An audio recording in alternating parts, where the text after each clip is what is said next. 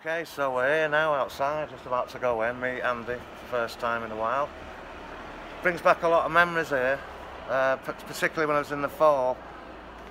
Mark used to come in about three or four hours late with the clock ticking um, and just rubbish everything we've been running through with John Leckie, the producer of Pink Floyd and Stone Roses. And uh, it was a fantastic time.